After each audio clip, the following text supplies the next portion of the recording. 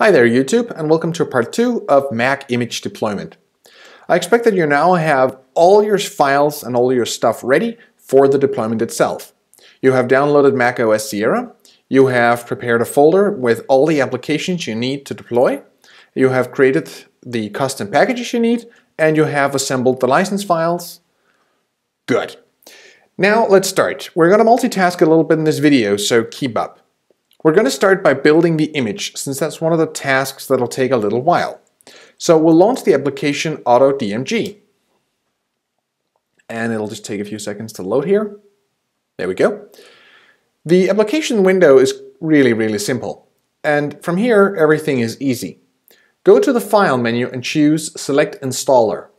It'll point you to your Applications folder where you'll locate the Install Mac OS Sierra. Click Open It'll then examine the uh, downloaded uh, version you have, and it'll then also find any updates that you can download. I've already downloaded the only update it found, and you just do so by clicking download. That means iTunes version 12.5.4 will be included as the update in this package. In the uh, Windows, or, or in the area down here called additional software, that's where you put in all the software and all the packages you want to deploy. So all you do is just open up the applications folder you prepared, select all the files and drag them in. There you go. It'll then add all the software.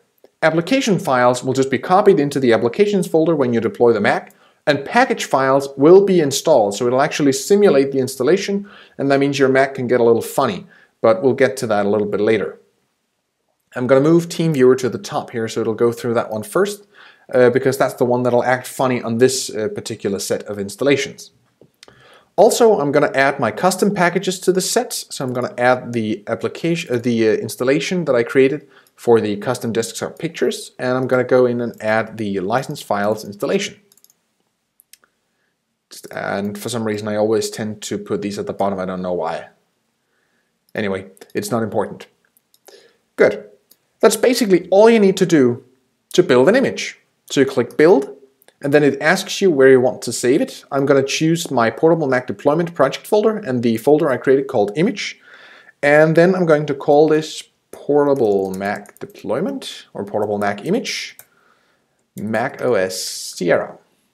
There we go. I could start with versioning, numbering, and all kind of stuff, but I'm just going to create this for my portable Macs. So just going to hit save, and there you go.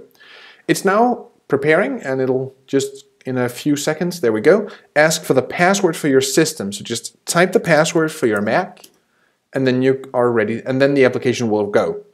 You can see that it's now creating the disk image and a lot of messages will start here. It's now installing OS uh, install.m.pkg. What it's basically going through now is it's simulating a Mac installation in an image file. So your Mac can get a little hot if it's uh, not having a powerful processor. And if you have a regular old-fashioned hard drive, this will take a moment. Anyway, while it's running, let's create the rescue USB thumb drive. Uh, you need to prepare the USB thumb drive, so make sure you find one that's empty, or at least make a backup of everything you have on it. Then open up Disk Utility, and you can open that from Spotlight. In the list on the left here, you'll find all the connected images to your Mac and all the hard drives and all that stuff. And I have a WD or a Western Digital external hard drive connected to my Mac. Um, I have already created a partition on this one called Untitled. That's what I'm going to use later. But if this is your USB thumb drive, make sure to click the top level here where you can see the arrow pointing down. Then you choose, I think it's called Format on English, I'm not quite sure. In here, you name it Untitled, and that's very important you do so. That's not random. You need to name it Untitled. Then in the format list, make sure you choose macOS Journaled. And in the uh, scheme down here, or plan, I'm not quite sure what it is in English, make sure you choose GUID partition. And then click delete, or restore, or format, or whatever it's saying, just click that button and it'll go through the cleaning process. I've already done so and created a partition here called Untitled. I'm not going to erase my hard drive here. So once you have a drive called Untitled, you can start creating your rescue drive. If you uh, take a peek in the description, uh, I'm just going to open that up here. There will be a command in the description here, a command for the terminal. And all you simply just do is copy this command, just Command C to copy it, and then you open up the application called Terminal. There we go. Terminal is a command line utility on the Mac, and basically what we're going to do here, I'm just going to paste the command, is we're going to tell the application install macOS Sierra to create install media, and we're going to create it on the volume called untitled. And that's basically what this is going to do. So paste that into your terminal, hit return, it's going to ask you for your password. And as you type your password, it's not going to show any dots or stars on the screen, but it is registering your keystrokes. So just type your password, hit return. It's going to say that the volume untitled is going to be deleted. So hit Y and then hit return. And then it's going to erase the disk called untitled. And then it's going to start preparing it as a rescue drive. That means you can boot your Mac from it. And that means you will always have a bootable USB thumb drive where you can go in and erase the Mac's hard drive and deploy your image. Now at this point everything is just going to have to work and from here depending on what kind of Mac you have it'll take about 20 minutes to an hour to complete both of these tasks. Now once TeamViewer uh, starts making some funny things on my Mac I'll return the uh, video. Okay, now you can see that macOS is done installing in the image and it is now starting to install the update iTunes. And it should, once it's done uh, with this set, go, uh, once it's done with this task, uh, start with the TeamViewer installation that might make my Mac act a little funny. There we go. Uh, you can see TeamViewer actually decided to pop up on my screen. So I'm just going to close that down. But it's actually running from within the image that this is preparing. And you can now see that it's installing all the other applications that I told it to install, and it's basically just down here copying keynote.app. And there you go, now you can see it's installing Microsoft Office, so now it's running through the actual installation of Microsoft Office. So it's basically just tending to itself and it'll be done in about a moment. If we take a look over here in the terminal, you can also see that the installation media that we intended to create is now completed. The first task was copying the installer files to the disk, and that copy is complete. Create making the disk bootable and copying the boot files, copy complete, and done. And there are no error messages, so that means everything is done. We can type exit to close our uh, admin session, and we can just close the window down. So now all we're waiting for is basically just for this to finish. Okay, now the build is complete. And you can see here, uh, AutoDMG has completed the build successfully. So now all we need to do is just click reveal. It'll open up the folder where our image file is now stored, and that'll be a DMG file. If you then take a look on your desktop, you'll see that your USB thumb drive has now changed its name to install macOS Sierra. That'll be the one that was called Untitled before and the one you created as a rescue drive. To make sure you can use your image uh, file, all you need to do is just drag it up here into your install macOS Sierra drive, and that'll be it. You can see in my case here, the image file is 12.2 gigabytes in size and it'll take about six minutes to copy. While we're waiting for that, we might as well do something that we forgot before. This recipe that we just created in AutoDMG, we can actually save so we can use it at some other point later. So we're going to go into the File menu and we're going to choose Save. And then in here, I'm going to go to my Portable Mac Deployment folder. And uh, yeah, actually, why not, why not just save it in here in my image folder? and I'm just going to name it the same as I did my image.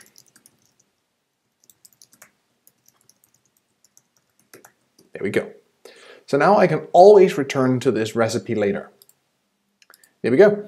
So when this copy is done, then we'll move over to the Mac where we are going to deploy this. Here we have the MacBook Air I'll be rolling out. Uh, the MacBook Air is currently turned off and now I'm just going to connect the external hard drive to boot the Mac off the external hard drive, press the power button and before the chime, hit the Alt key and hold it down until you see the boot menu. So I'm just going to do that right now. And you're going to have to be a little fast here. There we go. It's going to show you all your available boot options. Your recovery hard drive may be there or may not. And since my external hard drive contains two bootable medias, uh, I'm going to have to choose the install Mac OS Sierra version that we created.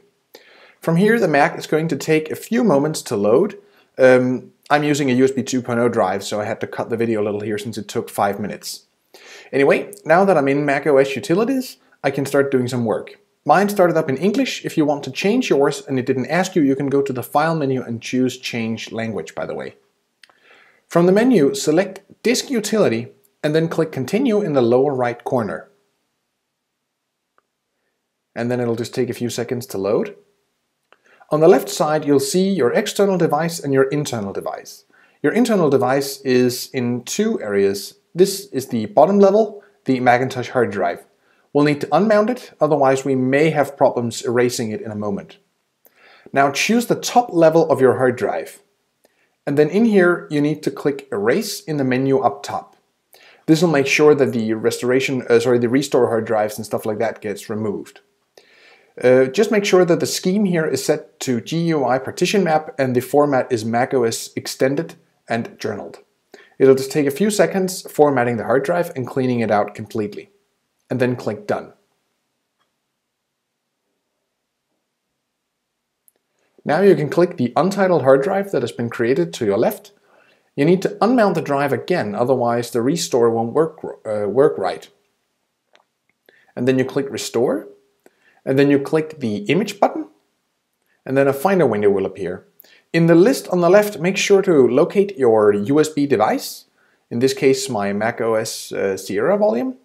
Choose the image file that you copied to your external device and click Open, and then click Restore. Once you click Restore, it's going to start the restore process. And this will take from around 3 to 5 minutes, usually on a MacBook Air, depending on how much you put on it. This old USB 2.0 drive takes about 10 minutes. I'm just going to speed up the video significantly here. Other than Mac OS being installed, it's also going to create the recovery partition on the Mac. When it's done, all you have to do is click Done, and then you need to remount the drive by clicking Mount, and notice that the hard drive is now called Macintosh Hard Drive. Close both utilities on the red button, or on the red X if you will, once you are prompted what you want to do to quit the macOS utilities, make sure to choose Startup Disk. Otherwise you'll have a Mac hanging when it starts to boot. And once this list pops up, choose your Macintosh hard drive and then click Restart in the lower right corner. And then click Restart. The Mac will now restart and the first time it starts up, it may take a little longer than usual, but it will start up just fine, don't worry. There we go. Once the computer starts up, it'll start with the regular setup dialogues that you have to deal with. So I'm just going to go through these uh, real quickly. Select my wireless network and all those other stuff.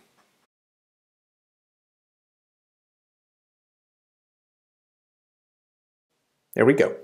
And once you have completed the setup, the Mac is going to just prepare everything for use, just like normal, and then the Mac is ready. I haven't found a way to do this dialogue, uh, these uh, startup dialogues yet, however. Um, now, when we open up the Launchpad and we browse over to page 2, you can see all the applications that I preloaded, they're now installed. Uh, Beamer, App Cleaner, Microsoft Office, Dropbox, VLC, all these things that I put in my image are now installed. And if I go to the applications folder on this system, I can go in here and I can locate the license files uh, folder. That was one of my custom packages to install these two files. So I have my Beamer license and my licensed accounts. And when I go into System Preferences and into Desktop and Screensaver, and then I scroll to the bottom, down here I can fall, uh, find the four custom desktop pictures that I installed into the Mac. That was also one of the custom packages that I created. And there you go. Your Mac is now fully operational with this deployment and you can just go deploy more Macs if you wish to. Thank you for watching this video and I hope you can go and do something very creative with it and something very productive.